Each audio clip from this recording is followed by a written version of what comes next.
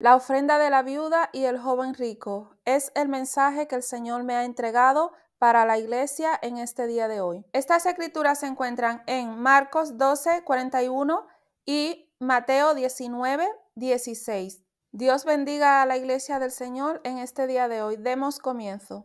Dios, bienvenido a este lugar y en nuestro corazón ven y haz tu voluntad. Dios, te queremos conocer con tu fuego abrazador, ven y muévete otra vez. Espíritu, avívanos, te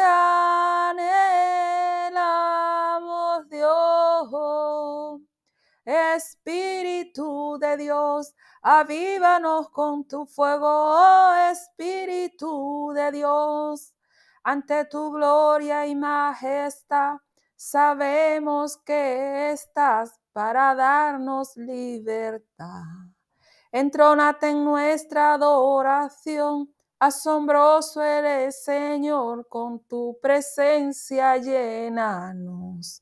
Espíritu, avívanos, Espíritu de Dios, avívanos con tu fuego, oh Espíritu de Dios. Más allá del horizonte y de las nubes habita un rey. Más allá de las esferas la luna y las estrellas vive Jehová. Sobre su trono sublime los serafines alabando están y los veinticuatro ancianos dicen santo, santo, santo a su majestad y su gloria está aquí.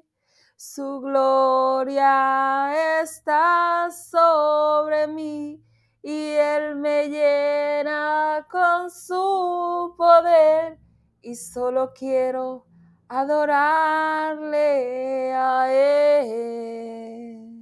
Más allá, más allá del horizonte vive Jehová y Él me llena, me llena con su poder. Más allá, más allá del horizonte vive Jehová y Él me llena, me llena, me llena con su poder. Y después de haberle cantado estas hermosas alabanzas al Señor, damos comienzo con las escrituras. La ofrenda de la viuda y el joven rico. Marcos 12, 41 y Mateo 19, 16. Comencemos por la ofrenda de la viuda. La palabra de Dios la leemos en el nombre de Jesús y honramos al Padre, al Hijo y al Espíritu Santo de Dios y la gloria es de Dios. Les quiero decir antes, hermanos, que hay personas que están aquí, que van a escuchar este mensaje en este día de hoy y que han escuchado muchos mensajes en este canal también que el Señor ha mandado a su iglesia. Y ellos están aquí en este día de hoy no para escuchar el mensaje que usted y yo vamos a escuchar, no, sino para ir tomando nota, a ver lo que puedan encontrar mal, para ir a hacerse ellos un contenido en su canal. Para eso están aquí. Por esta causa, yo les pido a vosotros que os llevéis de lo que dicen las escrituras, porque estas personas no sirven a Dios, hay personas que portan un mensaje de parte del Señor, pero ellos se desenfocan y se ponen a hacer cosas que Dios no los ha mandado. Ellos se desenfocan y se ponen a ver qué está haciendo cada persona para irse a crear un contenido en su canal de lo que sea, ya sea en escritura como en audio, como en que se les vea a ellos esta persona no sirven a Dios. ellos se han desenfocado, aunque han traído un mensaje de parte del Señor edificante, se han desenfocado. Ya ellos no esperan a ver qué Dios le va a dar para que ellos hagan en su canal, sino que ellos van buscando a ver qué está haciendo el otro para ellos irse a hacer un contenido. Y si ellos no están de acuerdo con lo que Dios manda en ese canal, ellos van y se le ponen a, dar, a, darle frente al Señor, haciéndose ellos otro contenido en contra. Llévese de lo que está escrito, llévese de lo que está en la escritura, porque estas personas no sirven a Dios cuando ellos se desenfocan. Ellos han traído un mensaje edificante, pero cuando ya ellos se desenfocan, ellos ya no están sirviendo a Dios, sino que están sirviéndose a ellos mismos, a su propio eh, eh, pensamiento, a lo que ellos creen, a lo que ellos dicen, ya no tienen ese, ese, enfoque de parte de Dios, sino que se han desenfocado. Ellos no cumplen con una cosa delante de Dios y ya ellos quieren arrastrar a todos a que todos hagan lo mismo.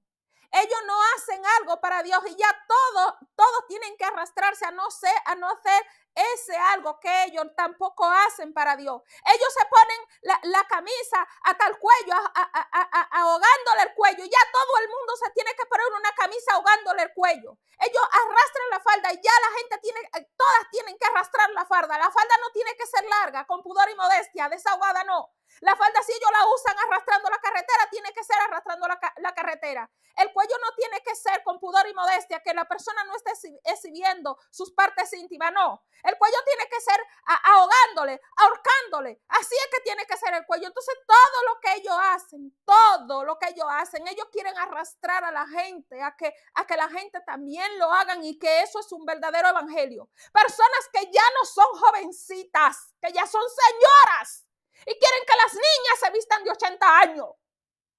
Personas que ya pasan de los 60 y quieren que una niña de 20 y de 30 años se vista de 80 años.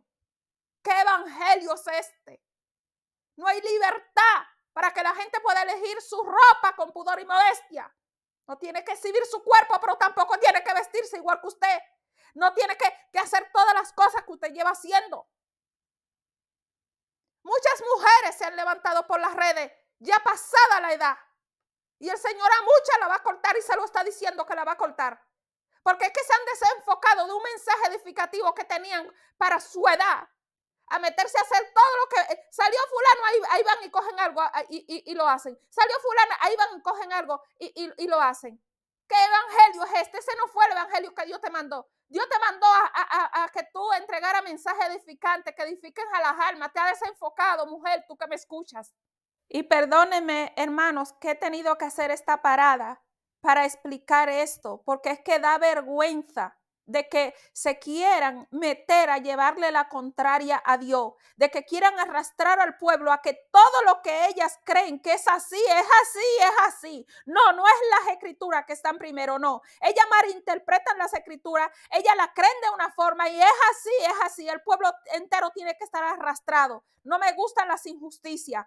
Lo mismo que Dios me ponga a defender a alguien, también lo que está mal lo digo, aunque me odien. Ahora sí, hermanos, la ofrenda de la viuda, Marco 12, 41. Estando Jesús sentado delante del arca de la ofrenda, miraba cómo el pueblo echaba dinero en el arca y muchos ricos echaban mucho.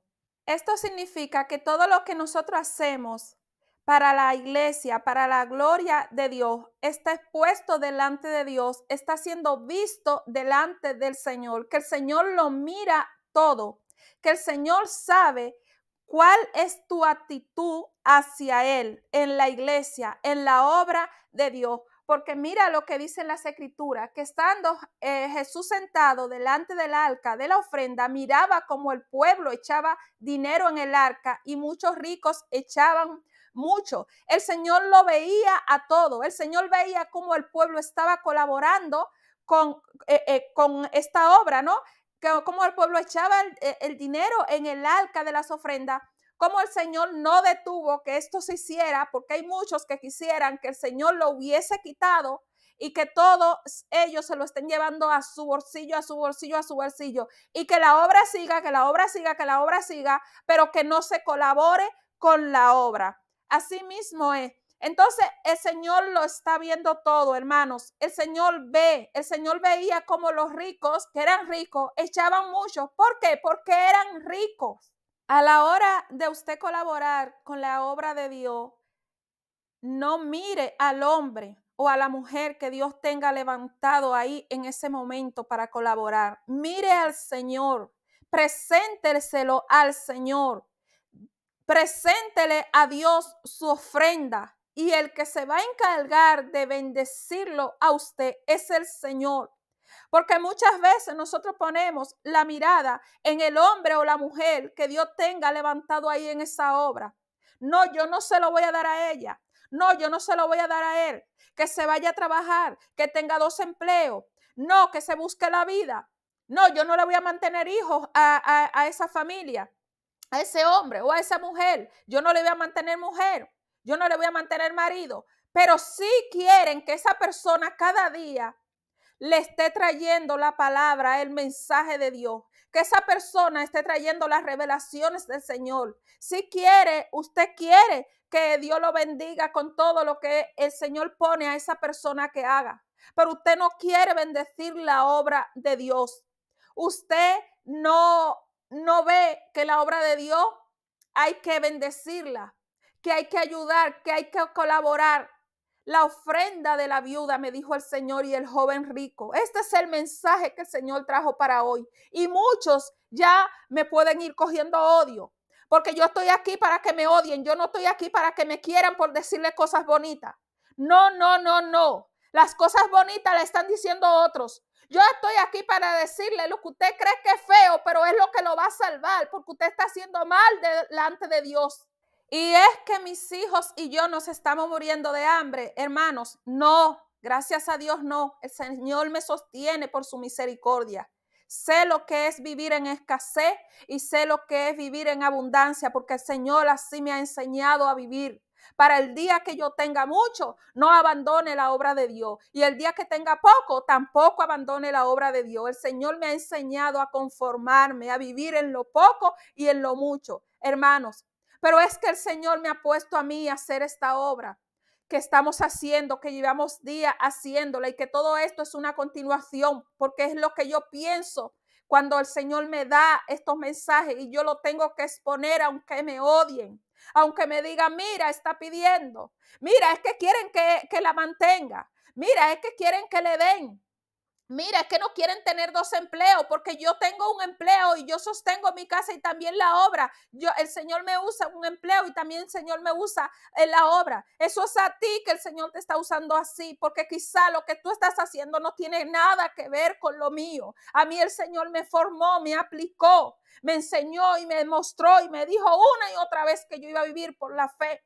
Y el Señor me ha mostrado la dureza que hay en su pueblo la dureza que tiene su pueblo a la hora de ofrendar, a la hora de colaborar con la obra de Dios, a la hora de dar sus diezmos. Ya muchas iglesias no dan el diezmo porque eso ese diezmo no hay que darlo, eso era para los levitas. Ese diezmo no hay que darlo, porque ese diezmo yo se lo doy a mis hermanos. Yo hago bien en la calle y yo a mis hermanos le doy en la, tanto a los de la calle como a los de adentro. Mi diezmo y mis ofrendas yo se lo doy así yo cumplo con Dios. Así tú no estás cumpliendo con Dios porque no es lo que Dios te ha mandado a hacer, mujer o tu hombre que me escucha. A ti el Señor te ha mandado a que los pobres tú siempre lo vas a tener y que cada vez que tú quieras ayudarlo, los ayude. Ahí está en la palabra como el Señor también las ayuda a los santos, que se les ayudan a los necesitados, pero la obra de Dios no puede cesar. No es posible que nosotros los que estemos levantados tengamos que dejar de hacer la obra de Dios para coger un empleo, para pagar gastos de tantas cosas que hay, para, para cubrir los gastos de nuestras necesidades. Y hablo eh, y me incluyo yo, ¿por qué? Porque el Señor a mí me ha levantado para vivir por la fe y estoy hablando en nombre de todos los que estén viviendo esta, esta situación, porque son muchos los hermanos que el Señor le ha mostrado que el pueblo tiene su corazón endurecido que el pueblo no colabora con la obra, que no esperen nada del pueblo porque su pueblo no quiere colaborar con la obra de Dios, su corazón está endurecido. Ya ellos han olvidado de que todo en la casa de Dios eh, eh, cuesta un trabajo, de que las cosas se tienen que trabajar para poderse entregar, de que todo lleva una mano de obra.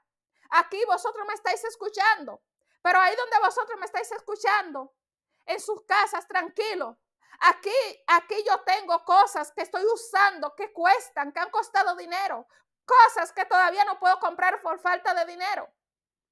Pero que no me desespero porque yo sé que el tiempo de Dios es perfecto y Él me ha permitido comprar cosas para la obra. Y cuando no hay, no se pueden comprar. Pero eh, la gente espera los mensajes, la gente espera las revelaciones, la gente espera que Dios le hable. Pero la gente no quiere que Dios le hable la verdad porque la verdad, la verdad los incomoda. Porque la verdad lo hace sentirse incómodo. Prefieren vivir en una mentira. Prefieren que se le diga algo que ellos no están haciendo. Pues oh, escúchame, de parte de Dios, yo te, te traigo este mensaje. Que la iglesia tiene su corazón endurecido hacia la obra de Dios. La iglesia está edificándose, edificándose, pero la iglesia no está colaborando con la obra de Dios. Y este mensaje yo sé que no va a tener mucho like, pero déjeme decirle que yo no estoy aquí por like. Cuando la gente le da like, colabora a que el mensaje le llegue a otras personas. Cuando la gente se suscribe al canal, colabora a que otras personas puedan también ver estos mensajes, puedan escucharlos. Pero yo no estoy aquí por ello. Yo no estoy aquí por, por los suscriptores que puedan haber, por los likes que puedan haber, aunque es importante que la gente eh, comparta, le dé like, se suscriba para que llegue a otros y se sienta edificado, porque si no se siente edificado, no lo tiene que hacer. Pero no estoy aquí por ello. Estoy aquí porque el Señor me tiene haciendo esta obra y cuando yo termine lo que me falta, me voy con el Señor, porque el Señor así me lo ha mostrado. Y también se lo ha mostrado a mi hijo, que cuando yo termine lo que falta, me voy con el Señor y esta palabra va a quedar. Y se van a dar cuenta que yo no estaba aquí por suscriptores ni por like, porque las armas no son mías. Las almas le pertenecen al Señor. Yo tengo que entregar el mensaje aunque la gente no crea. Yo tengo que entregar el mensaje aunque la gente me odie, aunque la gente me tache de mentirosa, aunque la gente me tache de busca dinero.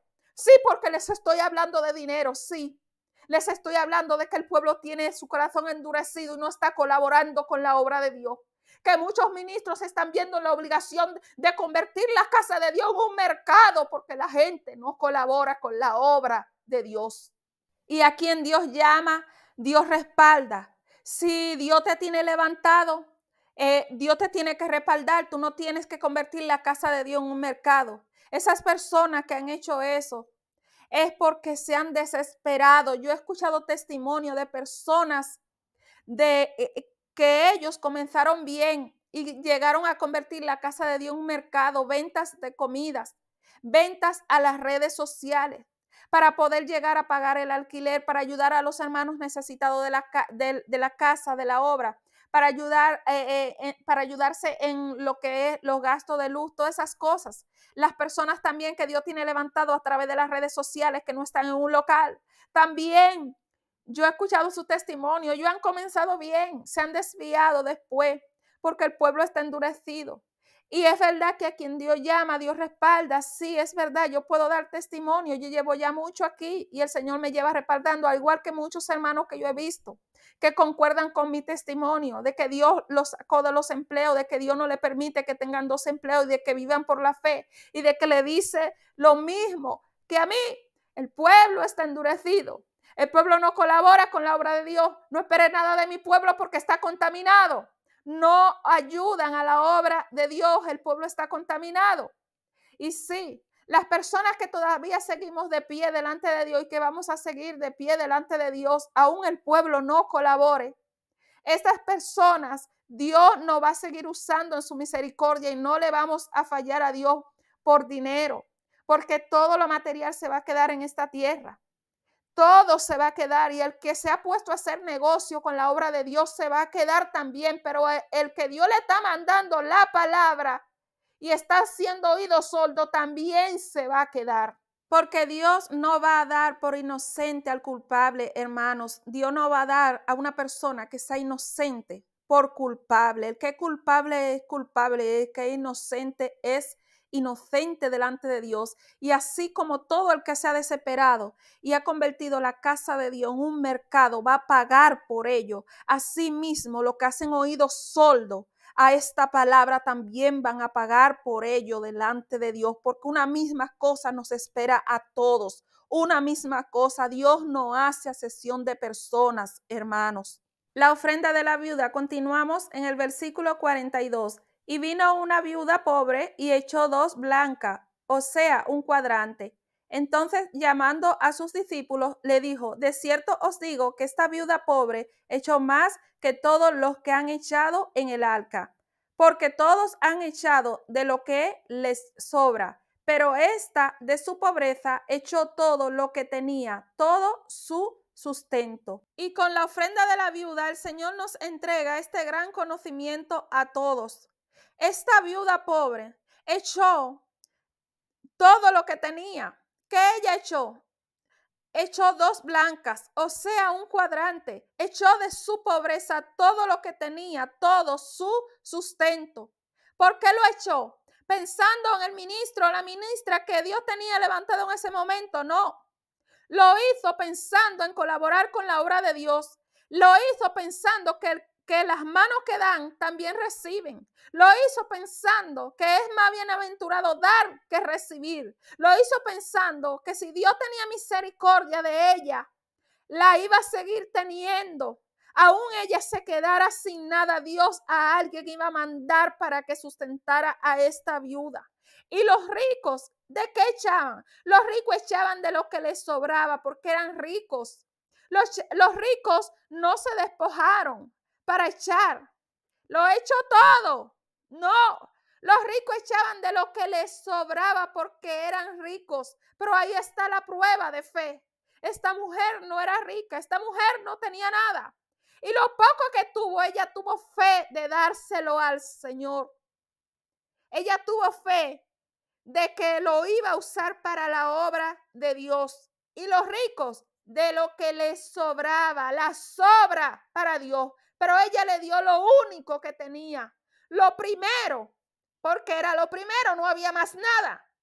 A Dios. Con la ofrenda de la viuda, el Señor nos enseña, hermanos, que nosotros no tenemos que ser ricos para colaborar con la obra de Dios, que hasta un granito de arena que nosotros pongamos para la obra de Dios es suficiente delante de Dios porque Dios lo está mirando, que usted no está echando lo que no tiene, sino que está, usted está echando de lo que pueda tener.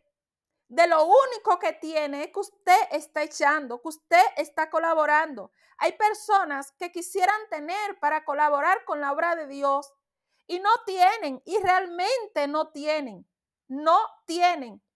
Pero hay personas que de lo poquito que tienen, quisieran tener más para colaborar con la obra de Dios, pero no es así.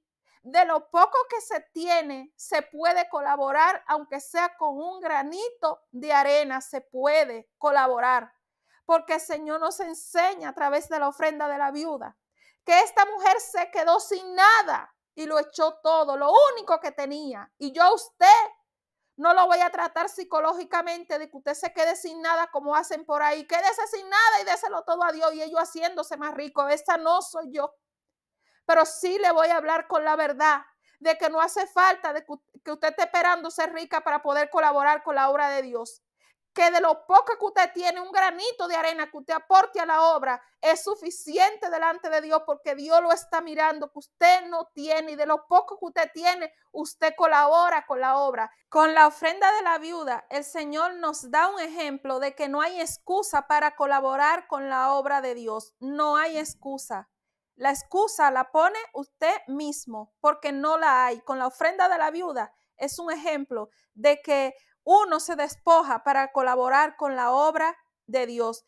En mi principio yo visité una iglesia que habían eh, unas personas especialmente que yo conocí y esas personas se despojaban para colaborar con la obra de Dios y no estaban levantados en la obra de Dios como ministro. Ellos colaboraban ahí en lo que hiciera falta, colaboraban, pero no era que estaban levantados como ministro esas personas.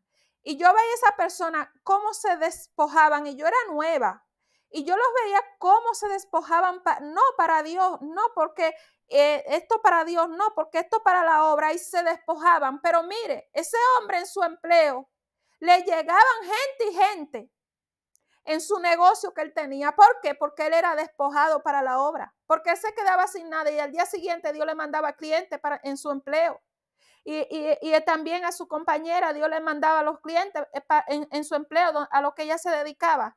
O sea, yo era nueva y yo veía esto y esto a mí me quedaba de ejemplo de que yo veía como esas personas se desprendían así y yo luego lo veía como Dios lo bendecía en todo, eran prosperados en todo, en su casa, eh, todo, o sea, que le puedo decir? Todo eran prosperados y daban testimonio de cómo iban siendo prosperados, pero había un despojo de ellos hacia la obra de Dios, de colaborar con la obra de Dios. Y yo quedaba sorprendida porque yo era nueva y quedaba sorprendida. Yo decía, wow, estas personas se despojan, pero mira luego como Dios eh, aumenta sus ganancias, los ayuda. Pero es que ellos son despojados, ellos no lo hacían para que Dios viera que lo hacían, sino que era algo que ellos sentían en su corazón hacerlo. Eran personas así, eran dados, dadivosos a la obra de Dios, a colaborar con la obra de Dios. Y sin embargo, hay personas que ellos no son dadivosos a colaborar con la obra de Dios y ellos están siendo prosperados y ellos piensan que es Dios igualmente que lo prospera. No, eso es Satanás que te tiene así prosperada o prosperado. Eso es Satanás, el Señor lo reprenda. Porque Dios no va a, a, a, como, como te digo, Dios no te va a prosperar sabiendo Dios que tú todo te lo guarda para ti y para tu familia, que tú no colaboras con la obra de Dios que tú no colaboras donde hay un necesitado, tú no lo ayudas, que tú, que tú, todo lo que consigues es para ti y para tus hijos y que tú te edificas con todo lo que se está dando, pero tú no aportas un grano de arena para la obra de Dios. Ese que te está prosperando a ti no es Dios, ese es Satanás, Señor lo reprenda, porque Dios no te va a prosperar a ti, sabiendo Él que tú no estás haciendo lo que el Señor te manda. Mira la ofrenda de la viuda, mira cómo el Señor lo está viendo todo. Veía cómo los ricos echaban de lo que les sobraba y veía cómo los pobres, esa, e, esa ofrenda que dio esa viuda valía más que la de los ricos, porque los ricos era lo que les sobraba. Pero la ofrenda de la viuda fue quedarse sin nada para dárselo todo a Dios. Y no te estoy trabajando psicológicamente como hacen por ahí para que tú lo dé todo a, donde quiera que Dios tenga los ministros levantados, que tú lo dé todo y que te quedes sin nada. Yo no te estoy haciendo eso, porque yo no soy una busca dinero aquí en las redes sociales. Si yo había querido desobedecer a Dios y ponerme a buscar dinero, yo sé cómo se hace, pero yo estoy aquí obedeciendo a Dios, aguantando por la fe, viviendo por la fe, siendo sostenida por el Señor y te tengo que decir la verdad para que vivas. Para eso te la tengo que decir, para que vivas, porque la mentira que hay por ahí, de, que de que Dios le va a dar más, de que Dios le va a dar más, eso es para ellos enriquecerse, pero yo te estoy hablando con la verdad de parte de Dios. Hermanos, continuamos en una segunda parte, la ofrenda de la viuda y el joven rico. Volvemos en una segunda parte.